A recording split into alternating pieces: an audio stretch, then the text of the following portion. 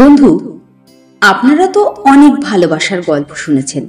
Romeo Juliet, Heer রাঞ্ঝা, কিংবা লায়লা মজনুর ভালোবাসার গল্প তো সর্বজন বিদিত। এগুলো হলো ব্যক্তিকেন্দ্রিক ভালোবাসা। তবে আজকে আমি আপনাদের জন্য সুন্দর একটি ভালোবাসার গল্প নিয়ে এসেছি। কথা দিচ্ছি, সেই গল্পটি আপনাদের ভালো লাগবেই।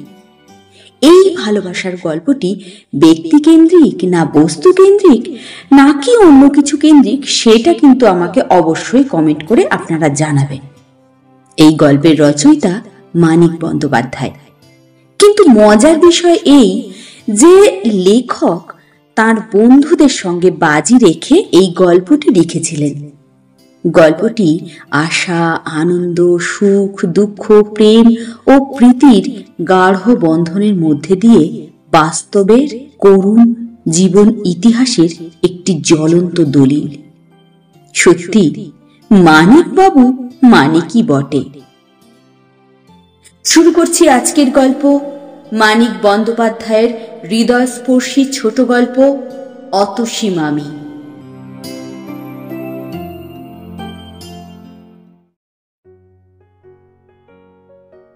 যে শোনে সেই বলে। হ্যাঁ শোনবার মতো বটে। বিশেষ করে আমার মেজ মামা। তার মুখে কোনো কিছুর এমন উচ্ছ্বসিত প্রশংসা খুব কম শুনেছি। শুনে শুনে ভারী কৌতূহল হলো। কি এমন বাঁশি বাজায় লোকটা যে সবাই এমন ভাবে প্রশংসা করে? তো একদিন শুনতে গেলাম। মামার কাছ থেকে একটা পরিচয়পত্র সঙ্গে নিলাম। আমি থাকি বালিগঞ্জে। আর যার বাঁশি বাজানোর ওস্তাদির কথা এতক্ষণ বললাম, তিনি থাকেন ভবানীপুর অঞ্চলে। মামার কাছে শুনেছি তার নাম যতীন। উপাধিটা অবশ্য শোনা হয়নি। আজ পরিচয়পত্রের উপরে নাম দেখলাম। যতীন্দ্রনাথ রায়।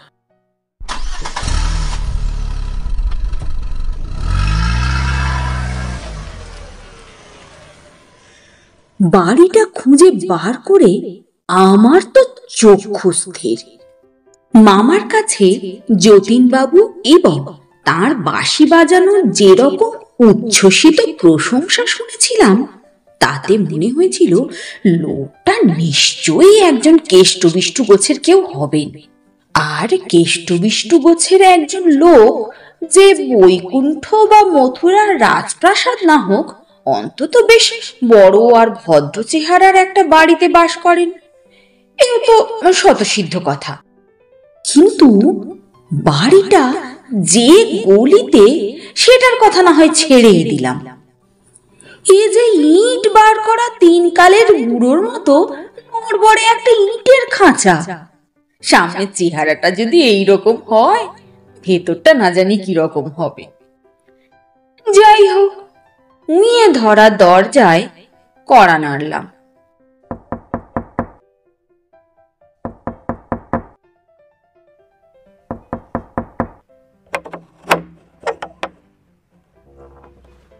একটু পরেই দরজা খুলে যে লোকটি সামনে এসে দাঁড়ালেন, তাকে দেখে মনে হলো ছাই গাদা নাড়তেই যেন একটা আগুন বার হয়ে পড়ল।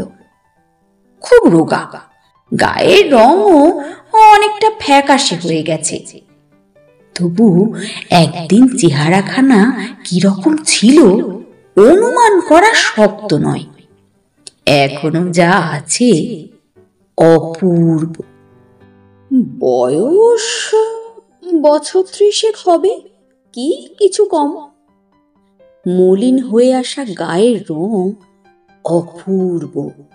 শরীরের গড়ন, মুখের চেহারা পূর্ব।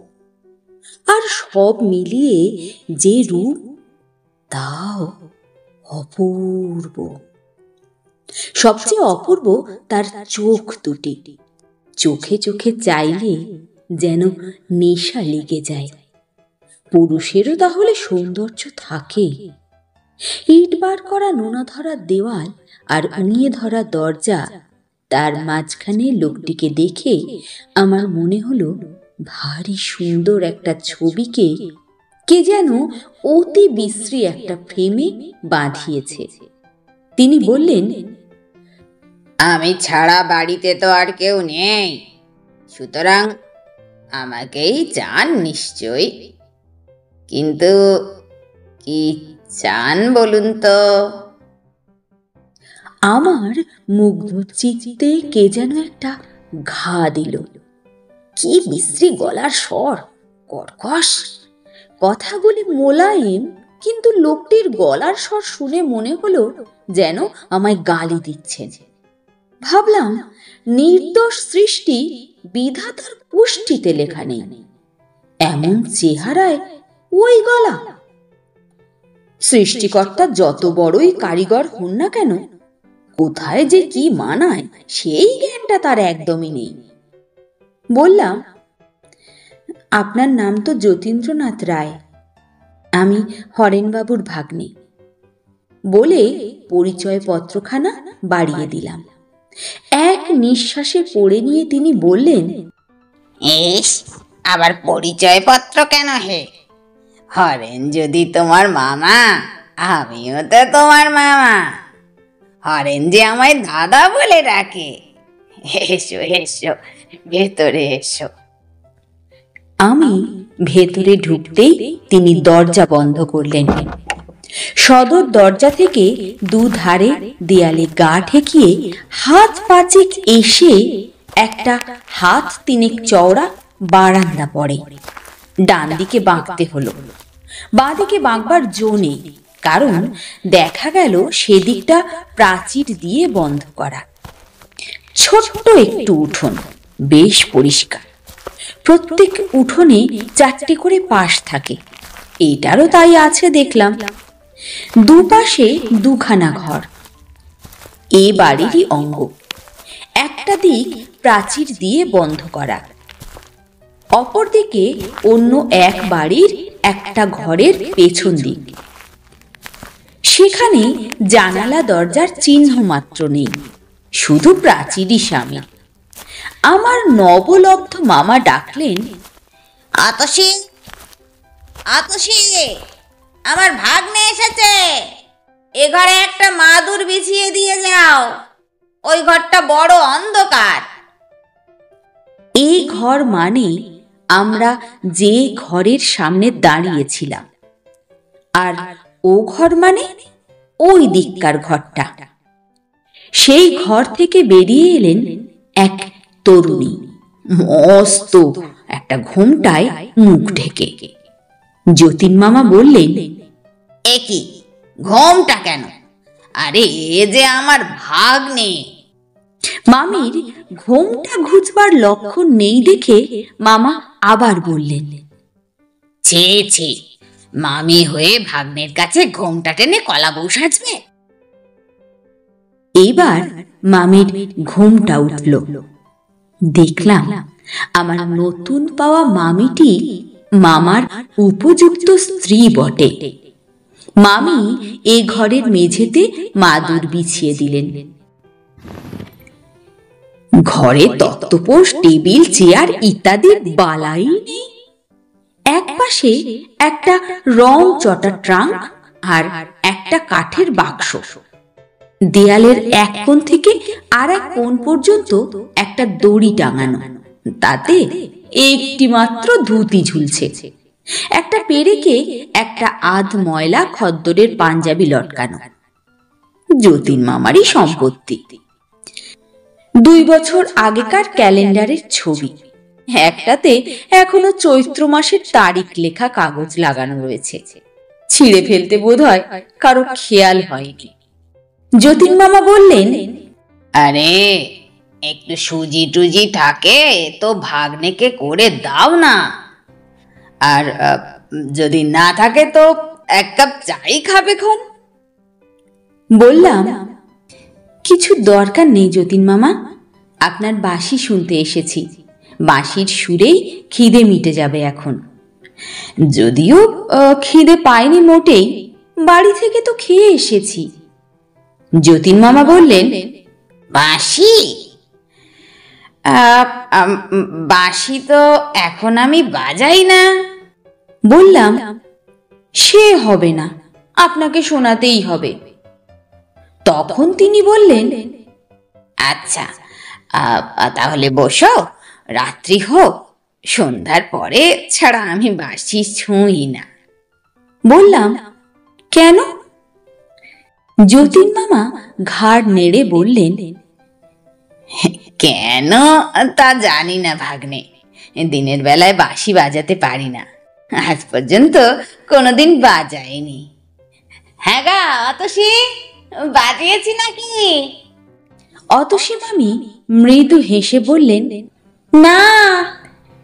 যেন প্রকাণ্ড একটা সমস্যার সমাধান হয়ে গেল এমনি ভাবে আমি বললাম, মোটে তো পাঁচটা বেজেছে, সন্ধে হবে সাতটায়। এতক্ষণ বসে থেকে কেন আপনাদের অসুবিধা করব? তার থেকে বরং আমি একটু ঘুরে টুরে আসি। সন্ধ্যার পর আসব এখন। যতীন মামা বললেন, কি যে বলো ভাগ্নে অসুবিধাটা আবার কি? হে পাড়ার লোকে তো বয়কট করেছে অপবাদ দিয়ে। তুমি থাকলে তবুও একটু কথা কয়ে বাঁচবো। আমি বললাম পাড়ার লোকে কি অপবাদ দিয়েছে মামা? অতসী মামির দিকে চেয়ে যতীন মামা হাসলেন। তারপর বললেন বলব নাকি ভাগ্নেকে কথাটা?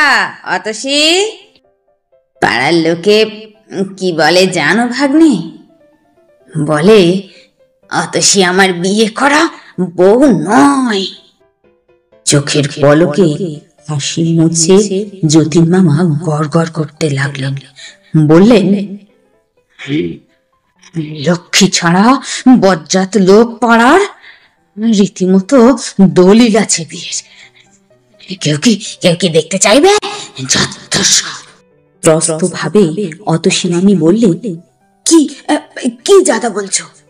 যতীন মামা বললেন ঠিক। ঠিক ভাগ্নে ভাগ্নে নতুন লোক তাকে এসব বলাটা ঠিক- ঠিক হচ্ছে না ঠিক হচ্ছে না। ভারী ভারী রাগ হয় কি না? হঠাৎ বললেন তোমরা যে কেউ কারুর সঙ্গে কথা বলছো না গো? মামি মৃদু হেসে বললেন কি কথা বলব? যতীন মামা বললেন এই নাও। কি কথা বলবে তাও কি আমায় শিখিয়ে দিতে হবে নাকি? যা হোক একটা কিছু দিয়ে শুরু করো। গড় গড় করে আপনিই কথা চলে আসবে। মামি বললে তোমার নামটি কি ভাগ্নে? যতীন মামা সশব্দে হেসে উঠলেন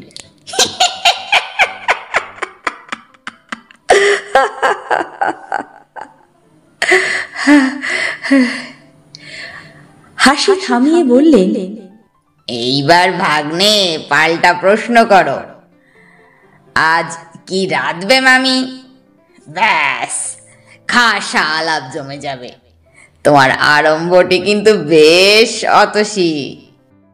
মামির মুখ লাল হয়ে উঠল। আমি বললাম "অ- অমন বিশ্রী প্রশ্ন আমি কখনো করব না মামি। আপনি নিশ্চিন্তে থাকুন। আমার নাম সুরেশ। যতীন মামা বললেন সুরেশ সুরেশ কিনা? সুরের রাজা। তাই তো সুর শুনতে এত আগ্রহ। তাই নয় কি ভাগ্নে? হঠাৎ উঠে দাঁড়িয়ে বললেন ইস ভুবনবাবু যে দু টাকা ফেরত দেবে বলেছিল আজ। যাই যাই নিয়ে আসি। দুদিন বাজার হয়নি। ভাগ্নে তুমি তুমি বসো। মামির সঙ্গে গল্প গুজব করো আমি আমি দশ মিনিটের মধ্যে আসছি। ঘরের বাইরে গিয়ে বললেন দৌড়টা দিয়ে দাও অতসী। ভাগ্নে ছেলে মানুষ। কেউ তোমার লোভে ঢুকলে ঠেকাতে পারবে না। মামির মুখ আরক্ত হয়ে উঠল। এবং সেটা গোপন করতে চট করে উঠে গেল। বাইরে তার চাপা গলা শুনলাম। কি যে রসিকতা করো না। ছি। মামা কি জবাব দিলেন শোনা গেল না। মামি ঘরে ঢুকে বললেন ওর ওই একই রকম স্বভাব। বাক্সে মোটে দুটো টাকা। তাই নিয়ে সেদিন বাজার গেলেন। বললাম একটা থাক। জবাব দিলেন কেন? রাস্তায় ভুবনবাবু চাইতেই টাকা দুটোই তাকে দিয়ে খালি হাতে ঘরে ঢুকলেন। আমি বললাম আশ্চর্য লোক তো। মামি বললে ও ওই রকমই। আর দেখো ভাই। বললাম ভাই নয় ভাগ্নে। মামি বললে হুম তাও তো বটে। আগে থাকতেই যে সম্বন্ধটা পাতিয়ে বসে আছো। মোর ভাগ্নে না হলে আমার ভাই হলে কিন্তু বেশ হতো। সম্পর্কটা নতুন করে পাতো না। এখনও তো এক ঘণ্টা হয়নি জমাট বাঁধেনি। আমি বললাম কেন? মামি ভাগ্নে তো বেশ সম্পর্ক। মামি বললে আচ্ছা তাই হোক। কিন্তু আমার একটা কথা তোমায় রাখতে হবে ভাগ্নে। তুমি ওর বাসি শুনতে চেও না? বললাম তার মানে বাঁশি শুনতেই তো এলাম। মামির মুখ গম্ভীর হলো। বললে কেন এলে? আমি কি তোমাকে ডেকেছিলাম? তোমাদের জ্বালায় আমি কি গলায় দড়ি দেব? আমি অবাক হয়ে মামির মুখের দিকে চেয়ে রইলাম। মুখে কথা জোগায় না। মামি বললে তোমাদের তোমাদের একটু শখ মেটাবার জন্য উনি আত্মহত্যা করছেন। দেখতে পাও না? রোজ তোমরা একজন না একজন এসে বাঁশি শুনতে চাইবে। আর রোজ রোজ গলা দিয়ে রক্ত পড়লে মানুষটা কদিন বাঁচে বলো তো? রক্ত? রক্ত নয় দেখবে? বলে মামি চলে গেল। ফিরে এলো একটা গামলা হাতে করে। গামলার ভেতরে জমাট বাঁধা খানিকটা রক্ত। মামি বললে, কাল উঠেছিল। ফেলতে মায়া হচ্ছিল তো, তাই রেখে দিয়েছি। জানি রেখে কোনো লাভ নেই, তবুও আমি অনুতপ্ত হয়ে বললাম জানতাম না মামি। জানলে কখনো শুনতে চাইতাম না। ইস এই জন্যই মামার শরীর এত খারাপ। মামি বললে কিছু মনে করো না ভাগ্নে অন্য কারোর সঙ্গে তো কথা কই না? তাই তোমাকেই গায়ের ঝাল মিটিয়ে বলে নিলাম। তোমার আর কি দোষ? সবই আমার অদৃষ্ট। আমি বললাম এত রক্ত পড়ে তবুও মামা বাসি বাজান? মামি দীর্ঘ নিঃশ্বাস ফেলে বললেন হ্যাঁ পৃথিবীর কোনো বাধাই ওর বাঁশি বাজানো বন্ধ করতে পারবে না। কত বলেছি, কত কেঁদেছি শোনে না জানো? আমি চুপ করে রইলাম। মামি বলে চলল, কতদিন ভেবেছি বাঁশিটা ভেঙে ফেলি। কিন্তু কিন্তু সাহস হয়নি। বাঁশির বদলে মদ খেয়েই হয়তো নিজেকে শেষ করে ফেলবেন। নয়তো যেখানে যা আছে সব বিক্রি করে বাঁশি কিনে না খেয়ে মরবেন। মামির শেষ কথাগুলি যেন গুমড়ে গুমড়ে কেঁদে ঘরের চারিদিকে ঘুরে বেড়াতে লাগল। আমি কথা বলতে গেলাম, কিন্তু কথা ফুটল না। মামি একটা দীর্ঘ নিঃশ্বাস ফেলে বললে অথচ অথচ একটা ছাড়া আমার কোনো কথা উনি ফেলেন না। আগে আ কণ্ঠ মদ খেতেন। বিয়ের পর যেদিন মিনতি করে মদ ছাড়তে বললাম, সেই দিন থেকেই ও জিনিস ছোঁয়াই ছেড়ে দিলেন। কিন্তু বাঁশির বিষয়ে কোনো কথাই উনি শোনেন না। আমি বলতে গেলাম মামি মামি বোধহয় শুনতেই পেল না। বলে চলল। একবার বাঁশি লুকিয়ে রেখেছিলাম জানো সেই সে যে কি ছটফট করতে লাগলেন যেন ওনার সর্বস্ব হারিয়ে গেছে। বাইরে কড়া নাড়ার শব্দ হলো। মামি দরজা খুলতে উঠে গেল। যতীন মামা ঘরে ঢুকতে ঢুকতে বললেন দিলে না টাকা অত সি বললে, পরশু যেতে। পিছন থেকে মামি বললে, সে আমি আগেই জানি। যতীন মামা বললেন, দোকানদারটা কি পাজি? এক পো সুজি চাইলাম, দিলই না। মামার বাড়িতে এসে ভাগ্নেকে দেখছি খালি পেটে ফিরতে হবে। মামি ম্লান মুখে বললে, সুজি দেয়নি, ভালোই করেছে। শুধু জল দিয়ে তো আর সুজি হয় না। কেন ঘি নেই। ঘি? কবে আবার ঘি আনলে তুমি? হুম তাও তো বটে। বলে যতীন মামা আমার দিকে চেয়ে হাসলেন। দিব্য সপ্রতিভ হাসি। আমি বললাম কেন ব্যস্ত হচ্ছেন মামা? খাবারের কিছু দরকার নেই। ভাগ্নের সঙ্গে অত ভদ্রতা করতে নেই। মামি বললে বসো তোমরা আমি আসছি। বলে মামি ঘর থেকে বেরিয়ে গেলেন। মামা হাঁক মেরে বললেন কোথায় যাচ্ছ গো? বারান্দা থেকে জবাব এলো আসছি। মিনিট পনেরো পরে মামি ফিরল। দু হাতে দুখানা রেকাবিতে গোটা চারেক করে রসগোল্লা আর গোটা দুই সন্দেশ। যতীন মামা বললে কোত্থেকে জোগাড় করলে গো? বলে একটা রেকাবি টেনে নিয়ে একটা রসগোল্লা মুখে তুললেন।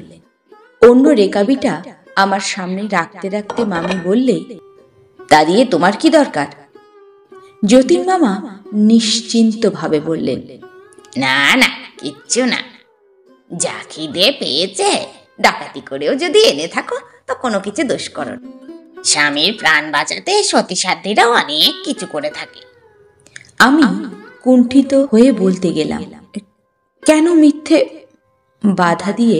মামি বললে, আবার যদি ওইসব শুরু করো ভাগ্নে, আমি কিন্তু কেঁদে ফেলব। আমি নিঃশব্দে খেতে আরম্ভ করলাম। মামি ও ঘর থেকে দুটো এনামেলের গ্লাসে জল এনে দিলেন। প্রথম রসগোল্লাটা গিলেই মামা বললেন! কি মিস্ত্রি রসগোল্লা? রইল পড়ে, খেও তুমি, নয়তো ফেলে দিও। দেখি, সন্দেশটা কেমন? সন্দেশটা মুখে দিয়ে বললেন হ্যাঁ এই জিনিসটা ভালো, এইটা খাব।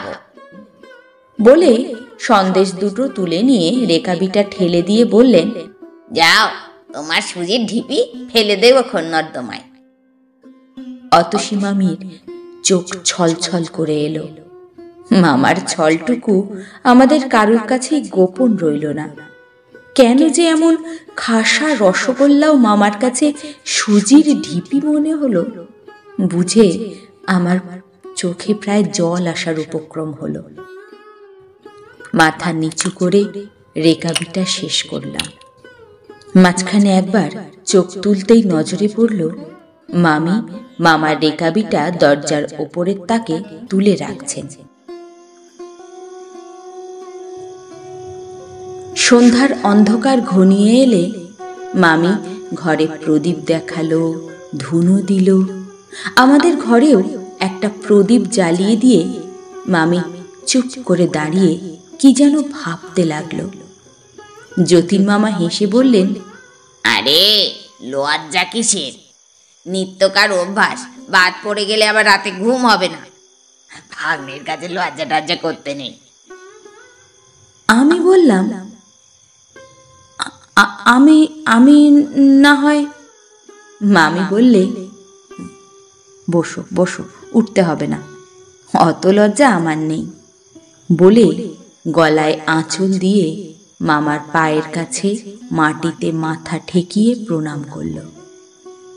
লজ্জায়, সুখে, তৃপ্তিতে আরক্ত মুখখানি নিয়ে অতসী মামি যখন উঠে দাঁড়াল, আমি বললাম, দাঁড়াও মামি, একটা প্রণাম করিনি। মামি বললে, না না ছি। বললাম, ছি ছি নয় মামি, আমার নিত্যকার অভ্যাস না হতে পারে, কিন্তু তোমায় প্রণাম না করে যদি আজ বাড়ি ফিরি আমার রাত্রে ঘুম হবে না। বলে মামির পায়ে হাত দিয়ে প্রণাম করলাম। যতীন মামা হো হো করে হেসে উঠলেন।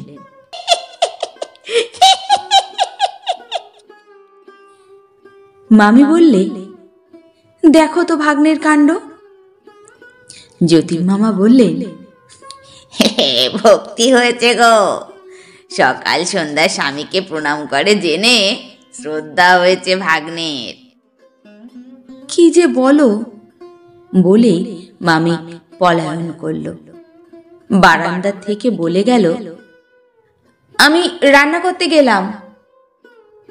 যতীন মামা বললেন এইবার বাঁশি শোনো।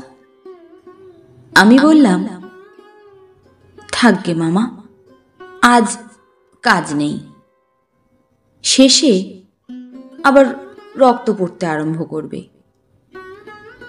যতীন মামা বললেন তুমিও শেষে ঘ্যান ঘ্যান প্যান প্যান আরম্ভ করলে ভাগ্নে। রক্ত পড়বে তো কি হয়েছে? তুমি শুনলেও আমি বাজাবো না শুনলেও আমি বাজাবো। খুশি হয় তো রান্নাঘরে মামির কাছে বসে কানে আঙুল দিয়ে থাকোকে যাও। কাঠের বাক্সটা খুলে বাঁশির কাঠের কেসটা বার করলেন। বললেন বারান্দায় চলো। ঘরে বড় শব্দ হয়।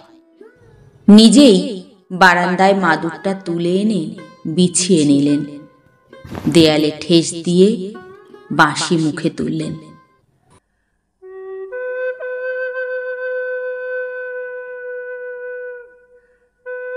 হঠাৎ আমার মনে হলো আমার ভেতরে যেন একটা উন্মাদ, একটা খেপা একটা উদাসীন ঘুমিয়েছিল। আজ বাঁশির সুরে জেগে উঠল। বাঁশির সুর এসে লাগে কানে, কিন্তু আমার মনে হলো বুকের তলেও যেন সাড়া পড়েছে। অতি তীব্র বেদনার মধুরতম আত্মপ্রকাশ কেবল বুকের মাঝে গিয়ে পৌঁছায়নি। বাইরের এই ঘরদেরকেও যেন স্পর্শ করে দিয়ে জীবন্ত করে তুলেছে। আর আকাশকে, বাতাসকে মৃদুভাবে স্পর্শ করতে করতে যেন দূরে, বহু দূরে যেখানে গোটা কয়েক তারা ফুটে উঠেছে, সেইখানে স্বপ্নের মায়ার মধ্যে লয় পাচ্ছে। অন্তরে ব্যথা বোধ করে আনন্দ পাবার যতগুলো অনুভূতি আছে, বাঁশির সুর যেন তাদের সঙ্গে কোলাকুলি আরম্ভ করেছে। বাঁশি শুনেছি ঢের। বিশ্বাস হয়নি, এই বাঁশি বাজিয়ে একজন, একদিন এক কিশোরীর কুল, মান, লজ্জা, ভয় সব ভুলিয়ে দিয়েছিল। যমুনাতে উজান বইয়েছিল। আজ মনে হলো, আমার যতীন মামার বাঁশিতে সমগ্র প্রাণ যদি আচমকা জেগে উঠে, নিরর্থক এমন ব্যাকুল হয়ে ওঠে তবে সেই বিশ্ববাসীর বাদকের পক্ষে ওই দুটি কাজ আর এমন কি কঠিন? দেখি। মামি কখন এসে নিঃশব্দে ওদিকের বারান্দায় বসে পড়েছে। খুব সম্ভব ওই ঘরটাই রান্নাঘর। কিংবা রান্নাঘরে যাবার পথ ওই ঘরের ভেতর দিয়ে। যতীন মামার দিকে চেয়ে দেখলাম। খুব সম্ভব সংজ্ঞা নেই। এ যেন সুরের আত্মভোলা সাধক সমাধি পেয়েছে। কতক্ষণ যে বাঁশি চলেছিল, ঠিক মনে নেই। বোধহয় ঘণ্টা দেড়েক হবে। হঠাৎ এক সময় বাঁশি থামিয়ে যতীন মামা ভয়ানক কাশতে আরম্ভ করলেন।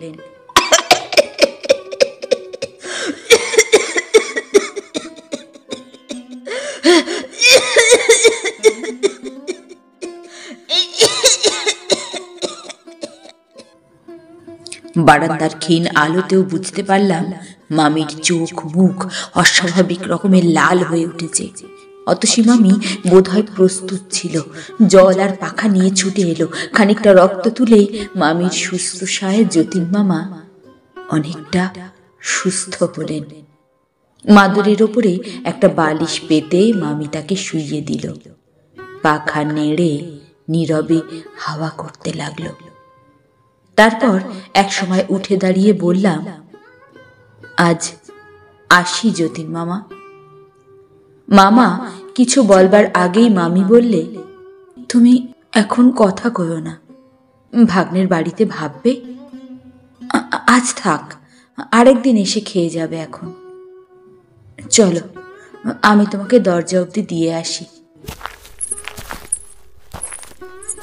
সদর দরজার গেট খুলে বাইরে যাব। মামি আমার হাতটা চেপে ধরে বললে, একটু দাঁড়াও ভাগ্নে, সামলে নি। প্রদীপের আলোতে দেখলাম মামির সমস্ত শরীর থর থর থর থর করে কাঁপছে। একটু সুস্থ হয়ে বললে, ওর ওর রক্ত পড়া দেখলে আমার এরকম হয়। বাঁশি শুনেও হতে পারে। আচ্ছা আচ্ছা এবার এসো ভাগ্নে। শিগগির আরেকদিন আসবে কিন্তু। বললাম, মামার বাঁশি ছাড়াতে পারি কিনা? এ- একবার চেষ্টা করে দেখব, মামি। মামি ব্যগ্র কণ্ঠে বললে, পারবে পারবে তুমি? যদি পারো ভাগ্নে, শুধু শুধু তোমার যতীন মামাকে নয় আ- আমাকেও প্রাণ দেবে।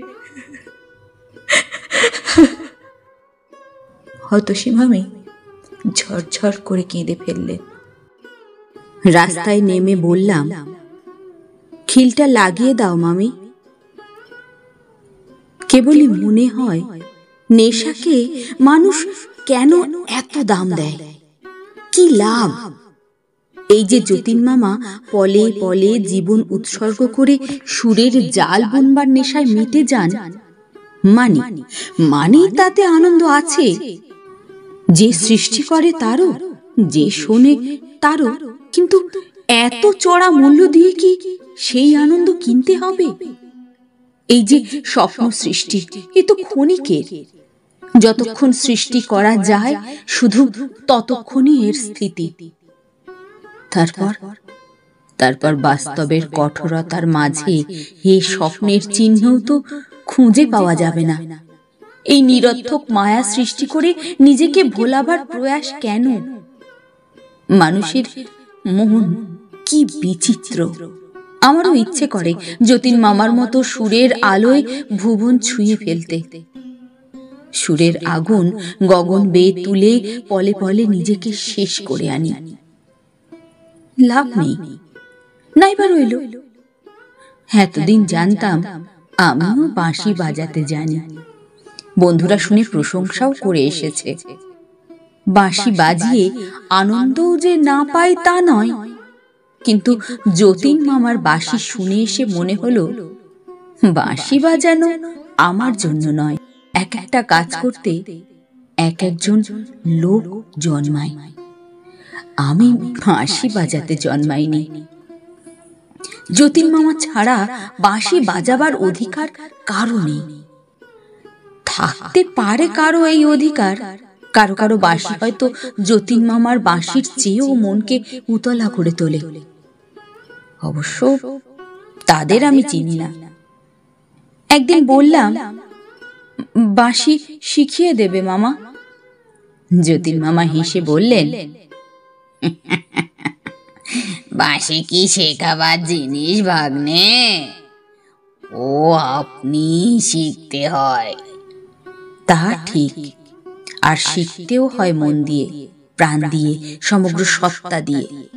নইলে আমার বাঁশি শেখার মতোই সে শিক্ষাও ব্যর্থ হয়ে যায়।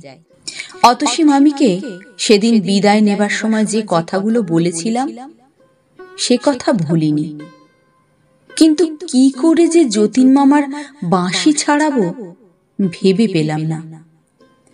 অথচ দিনের পর দিন যতীন মামা যে সেই সর্বনাশা নেশায় পলে পলে মরণের দিকে এগিয়ে যাবেন, এ কথা এ কথা ভাবতে কষ্ট হলো। কিন্তু কি করা যায়? মামির প্রতি যতীন মামার যে ভালোবাসা, তার বোধ হয় তল নেই। মামির কান্নাই যখন ঠেলেছেন, তখন আমার কি সাধ্য? তাকে ঠেকিয়ে রাখি। একদিন বললাম, মামা, আর বাঁশি বাজাবেন না। যতীন মামা চোখ বড় বড় করে বললেন, বাঁশি বাজাবো না? বলো কি ভাগ্নি? তাহলে বাঁচবো কি করে? বললাম, গলা দিয়ে যে রক্ত উঠছে মামি কত কাঁদে। তা আমি কি করব? একটু আধটু কাঁদা ভালো। বলে হাঁকলেন। আতসি আতসি। মামি এলো। মামা বললেন কান্না কিসের জন্য শুনি? বাঁশি ছেড়ে দিয়ে আমায় মরতে বলো নাকি? তাতে তোমার কান্না বাড়বে কমবে না। ম্লান মুখে চুপ করে দাঁড়িয়ে রইল মামি। মামা বললেন জানো ভাগ্নে এই অতসীর জ্বালায় আমার বেঁচে থাকাটাই ভার হয়েছে। কোত্থেকে যে উড়ে এসে জুড়ে বসলেন নরবার নাম পর্যন্ত নেই। ওর ভার না থাকলে বাঁশি বগলে মনের আনন্দে দেশে বিদেশে ঘুরে বেড়াতাম। বেড়ানো টেড়ানো এখন সব একেবারে মাথায় উঠেছে। মামি বললে যাও না বেড়াতে আমি কি ধরে রেখেছি? রাখনি বলে মামা এমনি ভাবে চাইলেন যেন নিজের চোখে তিনি অতসী মামিকে খুন করতে দেখেছেন। আর মামি এখন তার সম্মুখেই সেই কথা অস্বীকার করছেন। মামির চোখে জল এলো। অশ্রু জড়িত কণ্ঠে বললেন অমন অমন করো তো আমি আমি একদিন মামা একেবারে গোলে জল হয়ে গেলেন। আমার সামনেই মামির হাত ধরে কোঁচার কাপড় দিয়ে চোখ মুছিয়ে দিয়ে বললেন ঠাট্টা করছিলাম গো। সত্যি বলছি অতসী। চট করে হাত ছাড়িয়ে মামি চলে গেল। আমি বললাম কেন মিথ্যে চটালেন মামিকে? যতীন মামা বললেন চটেনি। লজ্জায় পালালো।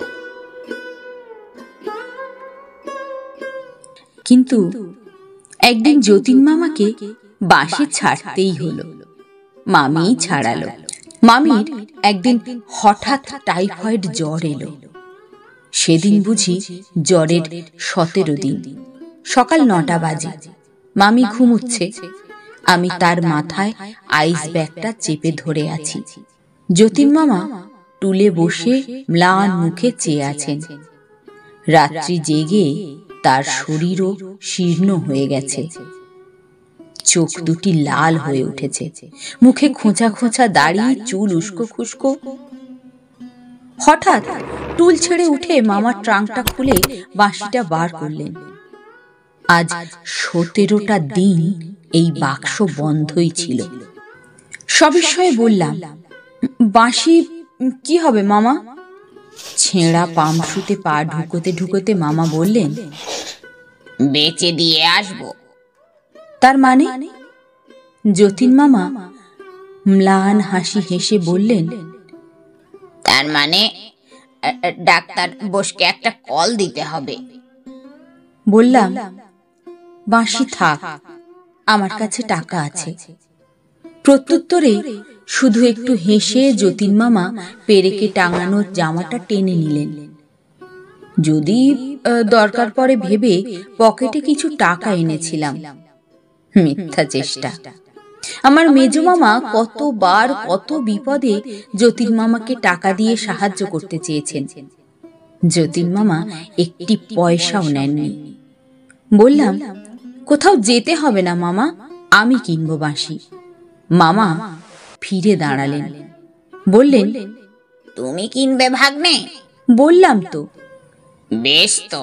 বললাম কত দাম? বললেন একশো পঁয়ত্রিশে কিনেছি। একশো টাকায় দিয়ে দেব। বাঁশি ঠিকই আছে। কেবল সেকেন্ড হ্যান্ড এই যা। বললাম আপনি না সেদিন বলেছিলেন মামা এরকম বাঁশি খুঁজে পাওয়া দায়? অনেক বেছে তবেই আপনি কিনেছেন। আমি একশো পঁয়ত্রিশ দিয়েই ওটা কিনব। যতীন মামা বললেন, তা কি হয়? পুরনো জিনিস তো। বললাম, আমাকে কি জোচ্চোট পেলেন মামা? আপনাকে ঠকিয়ে কম দামে বাঁশি কিনব? পকেটে দশ টাকার তিনটে নোট ছিল। বার করে মামার হাতে দিয়ে বললাম, ত্রিশ টাকা আগাম নিন, বাকি টাকাটা বিকেলে নিয়ে আসব। যতীন মামা কিছুক্ষণ স্তব্ধভাবে নোটগুলির দিকে তাকিয়ে রইলেন। তারপর বললেন আচ্ছা। আমি অন্যদিকে মুখ ফিরিয়ে নিলাম। যতীন মামার মুখের ভাবটা দেখবার স্বাদ হলো না। যতীন মামা ডাকলেন, ভাগ্নে। ফিরে তাকালাম। যতীন মামা হাসবার চেষ্টা করে বললেন, খুব বেশি কষ্ট হচ্ছে। ভেবো না। বুঝলে ভাগ্নে? আমার চোখে জল এলো। তাড়াতাড়ি মুখ ফিরিয়ে মামির শিওরে গিয়ে বসলাম। মামির ঘুম ভাঙেনি। জানতেও পারল না যে রক্ত পিপাসু বাঁশিটা ঝলকে ঝলকে মামার রক্ত পান করেছে। আমি আজ সেই বাঁশিটা কিনে নিলাম।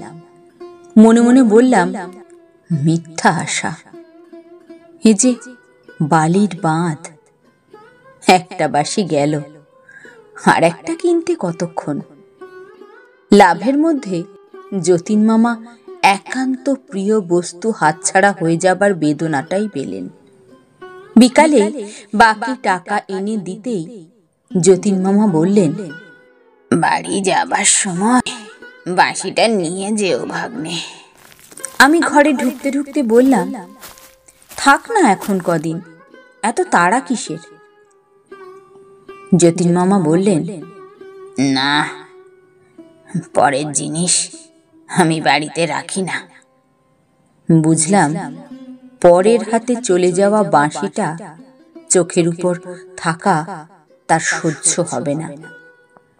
বললাম, বেশ মামা, তাই নিয়ে যাব যাবক্ষণ ঘাড় নেড়ে মামা বললেন হ্যাঁ নিয়েই যেও।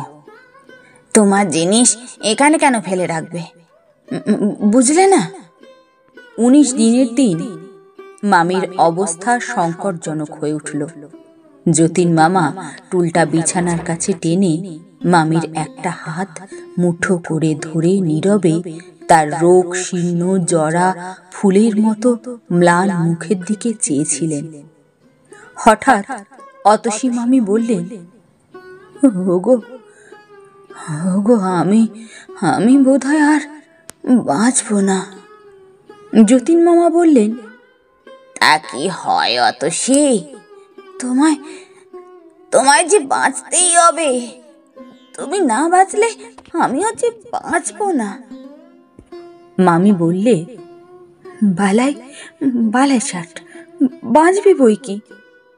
দেখো আমি যদি নাই বাঁচি, আমার একটা কথা রাখবে? যতীন মামা নত হয়ে বললেন, রাখব, বলো, কি কথা? বাঁশি বাজানো, ছেড়ে দিও, তিল তিল করে তোমার শরীর ক্ষয় হয়ে যাচ্ছে দেখে ওপারে গিয়েও যে আমার শান্তি থাকবে না। রাখবে? রাখবে আমার কথা? মামা বললেন, তাই হবে অতসী। তুমি ভালো হয়ে ওঠো। আমি আর মাসি ছোব না। মামির শীর্ণ ঠোঁটে সুখের হাসি ফুটে উঠল। মামার একটা হাত বুকের উপর টেনে শ্রান্তভাবে মামি চোখ বুঝল। আমি বুঝলাম যতীন মামা আজ তার রোগশয্যায় অতসী মামির জন্য কত বড় একটা ত্যাগ করলেন। অতি মৃদু স্বরে উচ্চারিত এই কটি কথা তুমি ভালো হয়ে ওঠো। আমি আমি আর বাসি ছোব না। অন্যে না বুঝুক আমি তো যতীন মামাকে চিনি। আমি জানি। অতসী মামিও জানে। এই কথা কটির পেছনে কতখানি জোর আছে।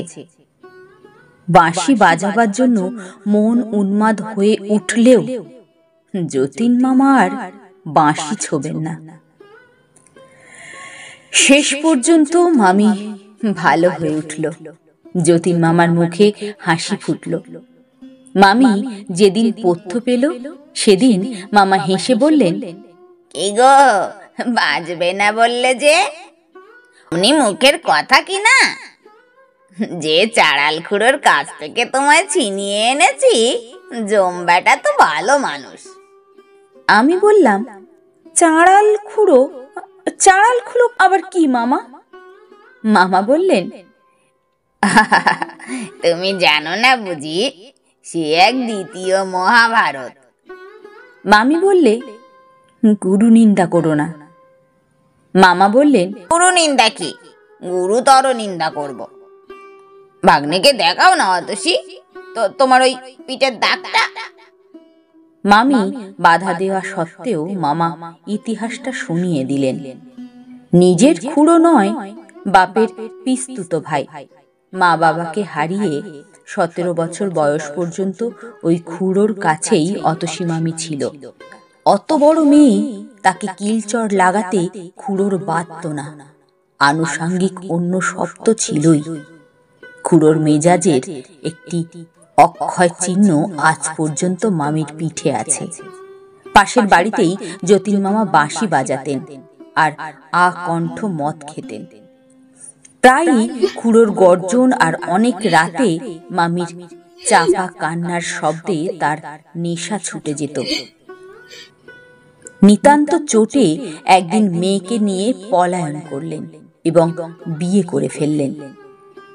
মামার ইতিহাস বলা শেষ হলে অতসী মামি ক্ষীণ হাসি হেসে বললেন তখন কি জানি মদ খায়? তাহলে কখনো আসতাম না। মামা বললেন তখন কি জানি তুমি মাথার রত্ন হয়ে ওঠার মতো লেপটে থাকবে? তাহলে কখনো উদ্ধার করতাম না।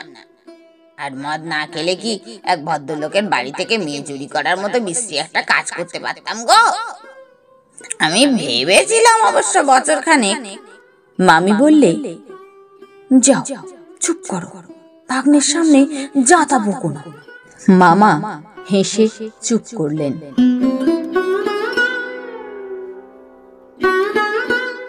মাস দুই পরের কথা। কলেজ থেকে শটান যতীন মামার বাড়িতে হাজির হলাম। দেখি জিনিসপত্র সব ছিল বাঁধা ছাদা হয়ে পড়ে। অবাক হয়ে প্রশ্ন করলাম, এ, এসব কি মামা? যতীন মামা সংক্ষেপে বললেন, দেশে যাচ্ছি। দেশে? দেশ আবার আপনার কোথায়? যতীন মামা বললেন আমার কি একটা দেশও থাকতে নেই ভাগ্নে। পাঁচশো টাকা আয়ের জমিদারি আছে দেশে খবর রাখো।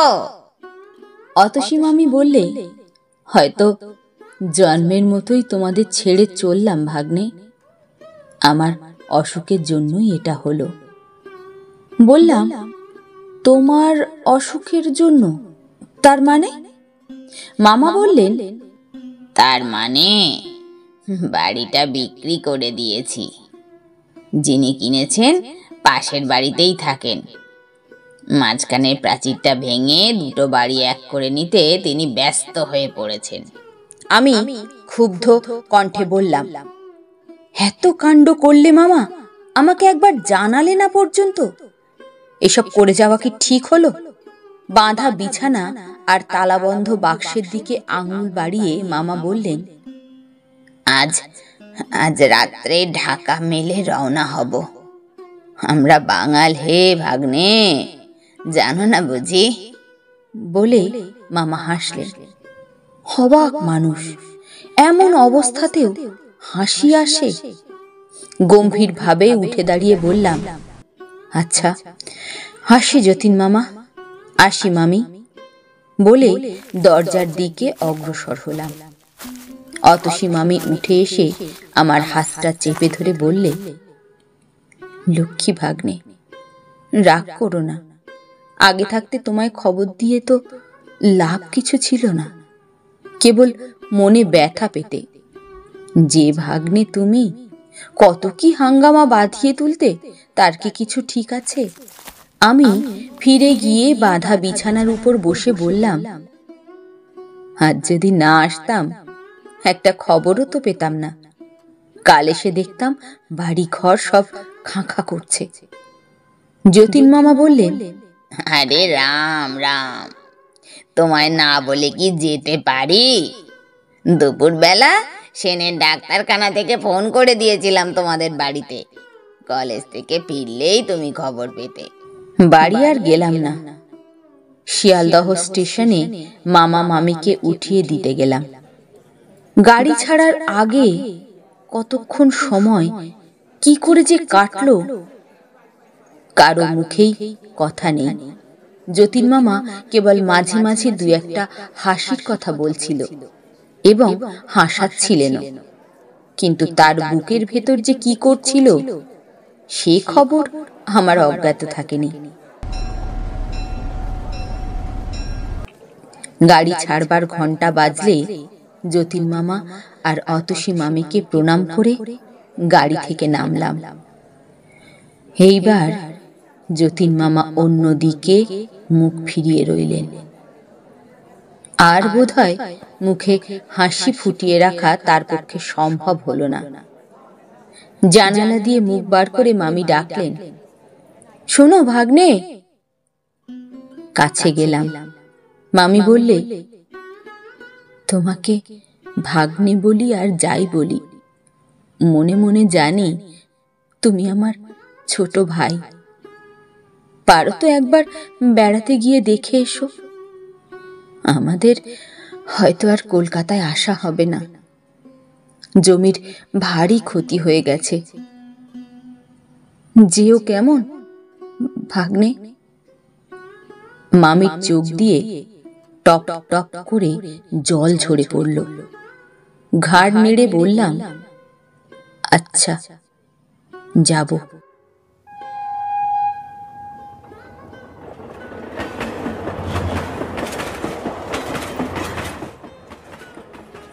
বাঁশি বাজিয়ে গাড়ি ছাড়ল। যতক্ষণ গাড়ি দেখা গেল, অপলক দৃষ্টিতে চেয়ে রইলাম। দূরের লাল, সবুজ আলোক বিন্দুর ওপারে যখন একটি চলন্ত লাল বিন্দু অদৃশ্য হয়ে গেল, তখন ফিরলাম।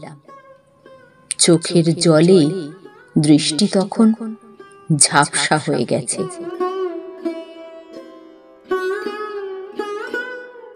মানুষের স্বভাবই এই, যখন যে দুঃখ পায়, তখন সেই দুঃখটাকেই সকলের চেয়ে বড় করে দেখে। নইলে কে ভেবেছিল যে যতীন মামা আর অতসী মামির বিচ্ছেদে একুশ বছর বয়সে আমার দু চোখ জলে ভরে গিয়েছিল? সেই যতীন মামা আর অতসী মামি একদিন আমার মনের এক কোণে সংসারের সহস্র আবর্জনার তলে চাপা পড়ে যাবেন। জীবনের অনেকগুলি ওলট পালট হয়ে গেল। যথা সময়ে ভাগ্য আমার ঘাড় ধরে যৌবনের পরিকল্পনার সুখ স্বর্গ থেকে বাস্তবের কঠোর পৃথিবীতে নামিয়ে দিল। নানা কারণে আমাদের অবস্থা খারাপ হয়ে পড়ল। বালিগঞ্জের বাড়িটা পর্যন্ত বিক্রি করে ঋণ শোধ করে দিতে হলো। আশি টাকা মাইনের একটা চাকরি নিয়ে শ্যামবাজার অঞ্চলে ছোট একটা বাড়ি ভাড়া করে উঠে গেলাম। মার কাদা কাটায় গোলে একটা বিয়েও করে ফেললাম। প্রথমে সমস্ত পৃথিবীটাই যেন তেতো লাগত। জীবনটা বিস্বাদ হয়ে গেল। আশা আনন্দের এতটুকু আলোড়নও ভেতরে খুঁজে পেলাম না। তারপর ধীরে ধীরে সব ঠিক হয়ে গেল। নতুন জীবনে রসের খোঁজ পেলাম। জীবনের জুয়া খেলায় হার জিতের কথা কদিন আর মানুষ বুকে পুষে রাখতে পারে। জীবনে যখন এই সব বড় বড় ঘটনা ঘটে চলেছে তখন নিজেকে নিয়ে আমি এমনই ব্যাপৃত হয়ে পড়লাম যে কবে এক যতীন মামা আর অতসী মামির স্নেহ পরম সম্পদ বলে গ্রহণ করেছিলাম। সে কথা মনে ক্ষীণ থেকে ক্ষীণতর হয়ে গেল। সাত বছর পরে আজ কচ্ছিত কখনো হয়তো একটা অস্পষ্ট স্মৃতি মতো তাদের কথা মনে পড়ে। মাঝে একবার মনে পড়েছিল। যতীন মামাদের দেশে চলে যাবার বছর তিনেক পরে। সেইবার ঢাকা মেলে কলিশন হয়। মৃতদেহের নামের মধ্যে যতীন্দ্রনাথ রায় নামটা দেখে খুব একটা ঘা লেগেছিল। সে কথা আজও মনে পড়ে। ভেবেছিলাম একবার গিয়ে দেখে আসব। কিন্তু হয়নি। সেদিন আপিস থেকে ফিরে দেখি আমার স্ত্রীর কঠিন অসুখ। মনে পড়ে যতীন মামার দেশের ঠিকানায় একটা পত্র লিখে দিয়ে এই ভেবে মনকে সান্ত্বনা দিয়েছিলাম, ও নিশ্চয়ই আমার যতীন মামা নয়। পৃথিবীতে যতীন্দ্রনাথ রায়ের অভাব তো নেই। সে চিঠির কোনো জবাব আসেনি। স্ত্রীর অসুখের হিড়িকে কথাটা আমার মন থেকে মুছেই গিয়েছিল। তারপর গড়িয়ে গড়িয়ে আরও চারটে বছর কেটে গেছে। আমার ছোট বোন, বিনা তার বিয়ে হয়েছিল ঢাকায়। পুজোর সময় বিনাকে তারা পাঠালে না। অগ্রহায়ণ মাসে বিনাকে আনতে ঢাকায় গেলাম। কিন্তু আনা হলো না। গিয়েই দেখি বিনার শাশুড়ির খুব অসুখ। আমি যাবার আগের দিন হু হু করে জ্বর এসেছে। ডাক্তার আশঙ্কা করছেন নিউমোনিয়া। ছুটি ছিল না। ক্ষুণ্ণ হয়ে একাই ফিরলাম। গোয়ালন্দে স্টিমার থেকে নেমে ট্রেনের একটা ইন্টারে ভিড় কম দেখে উঠে পড়লাম। দুটি মাত্র ভদ্রলোক। এক কোণে র্যাপার মুড়ি দেওয়া একটি স্ত্রীলোক। খুব সম্ভব এদের একজনেরই স্ত্রী। জিনিসপত্রের একান্তই অভাব। খুশি হয়ে একটা বেঞ্চিতে কম্বলের ওপর চাদর বিছিয়ে বিছানা করলাম। বালিশে ঠেসান দিয়ে আরাম করে বসে পা দুটো কম্বল দিয়ে ঢেকে একটা ইংরাজি মাসিক পত্র বার করে ওপেন হোমের ডিটেকটিভ গল্পে মনোসংযোগ করলাম। যথা সময়ে গাড়ি ছাড়ল এবং পরের স্টেশনে থামল আবার চলল। এটা ঢাকা মেল বটে কিন্তু পোরাত পর্যন্ত প্রত্যেক স্টেশনে থেমে থেমে প্যাসেঞ্জার হিসেবেই চলে। পোড়াদের পর ছোটখাটো স্টেশনগুলি বাদ দেয় এবং গতিও কিছুটা বাড়ায়। গোয়ালন্দের পর গোটা তিনেক স্টেশন পার হয়ে একটা স্টেশনে গাড়ি দাঁড়াতে ভদ্রলোক দুটি জিনিসপত্র নিয়ে নেমে গেলেন। স্ত্রী লোকটি কিন্তু তেমনি ভাবেই বসে রইলেন। ব্যাপার কি? একে ফেলেই দেখছি সব নেমে গেলেন। অমন অন্য মনস্ক তো কখনো দেখিনি। ছোটখাটো জিনিস মানুষের ভুল হয়, কিন্তু একটা আস্ত মানুষ, তাও আবার একজনের অর্ধাঙ্গ, তাকে একেবারে ভুল করে কেউ ফেলে যায় নাকি? জানালার দিকে তাকিয়ে দেখলাম, পিছনে দৃকপাত মাত্র না করে তারা স্টেশন পার হচ্ছেন। হয়তো ভেবেছেন, চিরদিনের মতো আজও স্ত্রীটি তার পিছু পিছু চলেছে। চেঁচিয়ে ডাকলাম। ও মশাই মশাই, ও মশাই, শুনছেন? গেটের ওপারে ভদ্রলোক দুটি অদৃশ্য হয়ে গেলেন। বাঁশি বাজিয়ে গাড়ি ছাড়ল। অগত্যা, নিজের জায়গায় বসে পড়লাম। ভাবলাম, তবে ইনি একাই চলেছেন বোধ হয় বাঙালির মেয়ে নিশ্চয়ই র্যাপার দিয়ে নিজেকে ঢাকবার কায়দা দেখেই সেটা বোঝা যায়। বাঙালির মেয়ে এই রাত্রিবেলা নিঃসঙ্গ যাচ্ছে। তাও আবার পুরুষদের গাড়িতে।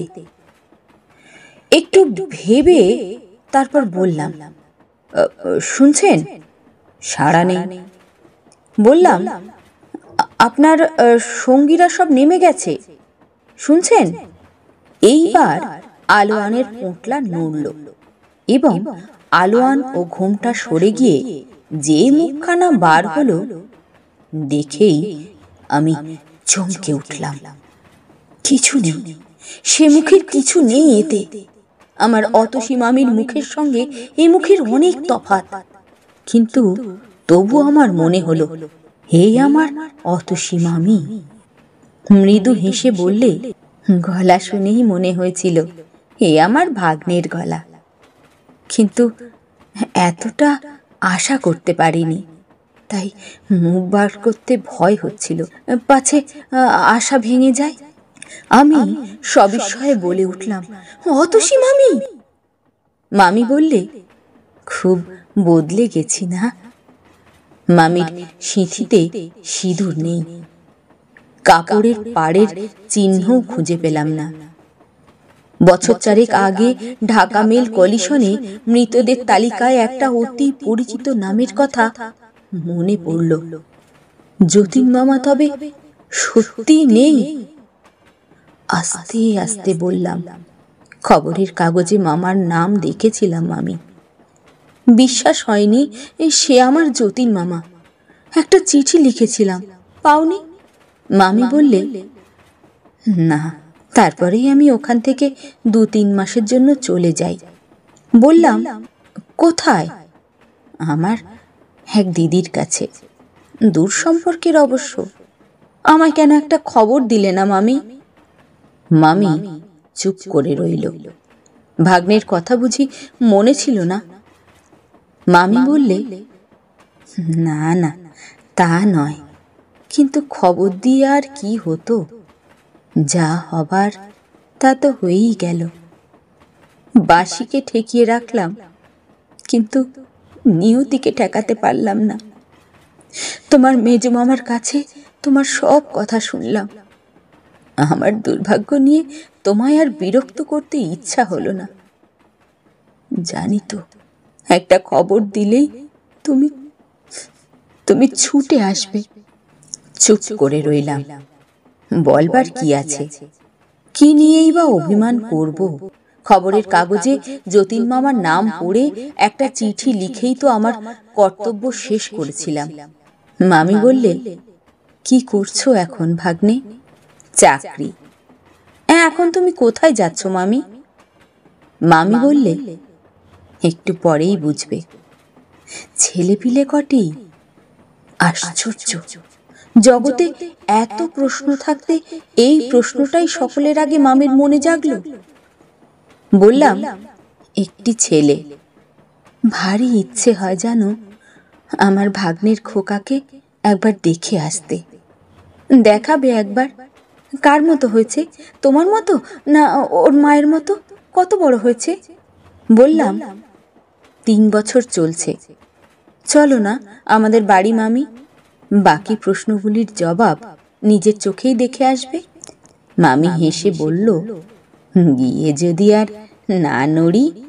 বললাম, তেমন ভাগ্য কি আমার হবে? কিন্তু কিন্তু সত্যি কোথায় চলেছ মামি? এখন থাকো কোথায়? মামি বললে, থাকি দেশেই কোথায় যাচ্ছি একটু পরে বুঝবে। ভালো কথা সেই বাঁশিটা কি হলো, ভাগ্নে? এইখানেই আছে। এইখানে? এই গাড়িতে? বললাম হ্যাঁ। আমার ছোট বোন বিনাকে আনতে গিয়েছিলাম। সে লিখেছিল বাঁশিটা নিয়ে যেতে। সবাই নাকি শুনতে চেয়েছিল। মামি বললে, তুমি বাঁশি বাজাতে জানো? বার করো না বাঁশিটা। ওপর থেকে বাঁশির কেসটা পারলাম। বাঁশিটা বার করতেই মামি ব্যগ্র হাতে টেনে নিয়ে এক দৃষ্টিতে সেটার দিকে চেয়ে রইল। একটা দীর্ঘ নিঃশ্বাস ফেলে বললে বিয়ের পর এটাকে বন্ধু বলে গ্রহণ করেছিলাম। মাঝখানে এর চেয়ে বড় শত্রু আমার ছিল না। আজ আজ আবার এটাকে বন্ধু মনে হচ্ছে। শেষ তিনটে বছর বাঁশিটার জন্য ছটফট করে কাটিয়েছিলেন। আজ মনে হচ্ছে বাঁশি বাজানো ছাড়তে না বললেই হয়তো ভালো হতো। বাঁশির ভেতর দিয়ে মরণ বরণ করলে তবু শান্তিতে যেতে পারতেন। শেষ কটা বছর এত মনকষ্ট ভোগ করতে হতো না। বাঁশির অংশগুলো লাগিয়ে মামি মুখে তুলল।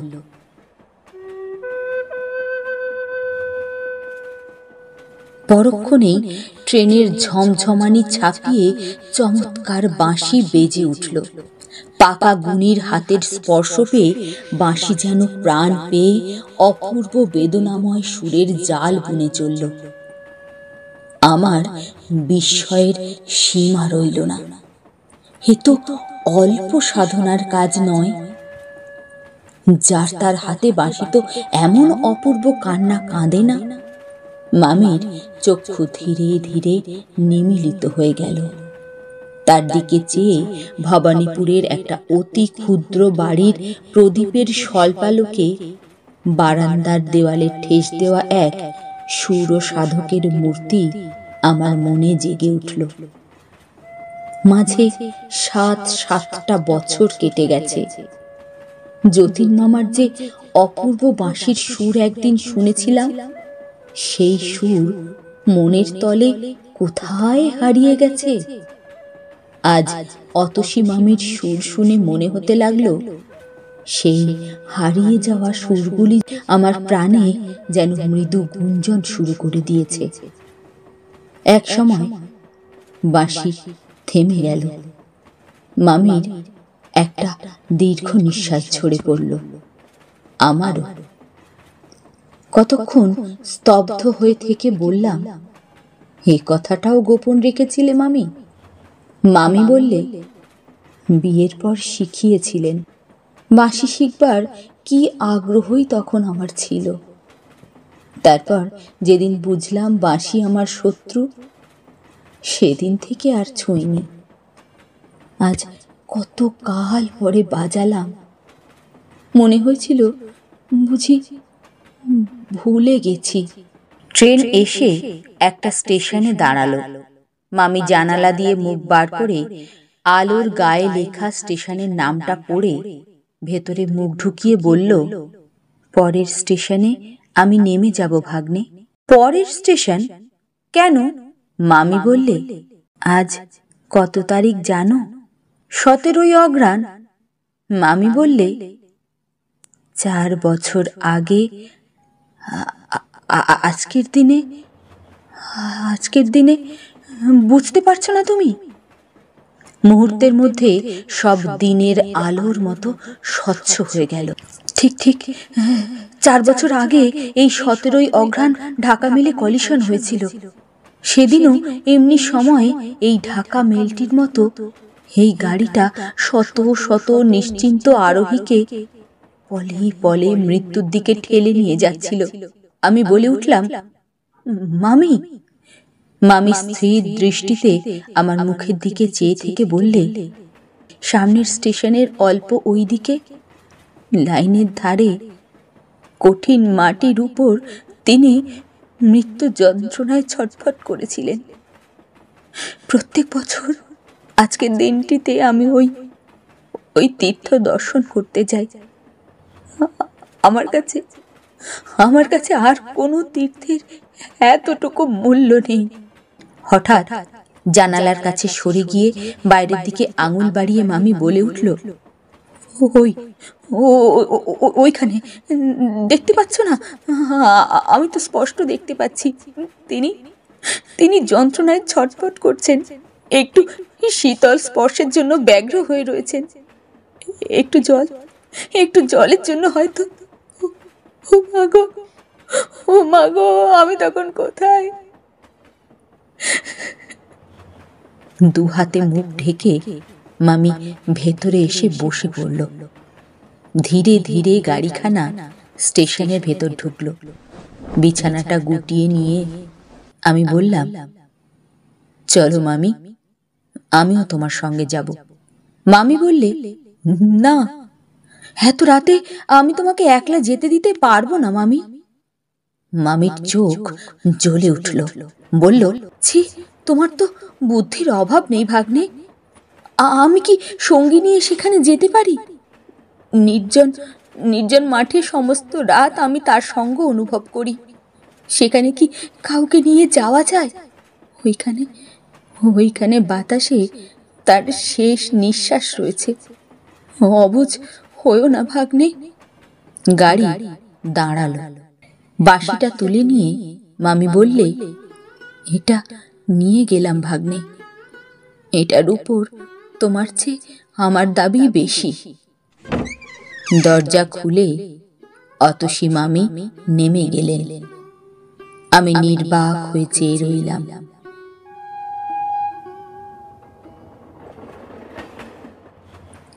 আবার বাঁশি বাজিয়ে গাড়ি ছাড়ল। খোলা দরজাটা একটা করুণ শব্দ করে আছড়ে বন্ধ হয়ে গেল।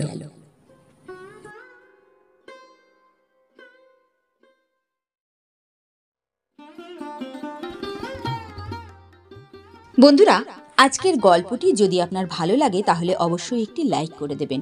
প্রচুর শেয়ার করবেন এবং কমেন্ট করে জানাবেন কেমন লাগল। আর অবশ্যই সাবস্ক্রাইব করে দেবেন এবং সাবস্ক্রাইব করার পর পাশে থাকা বেল বাটনে ক্লিক করে অল নোটিফিকেশন অন করে দেবেন। তাহলে যখনই আমি নতুন কোনো ভিডিও আপলোড করব, তার খবর সবার আগে আপনার কাছে পৌঁছে যাবে। আজ তাহলে এই পর্যন্ত। সবাই ভালো থাকুন, সুস্থ থাকুন।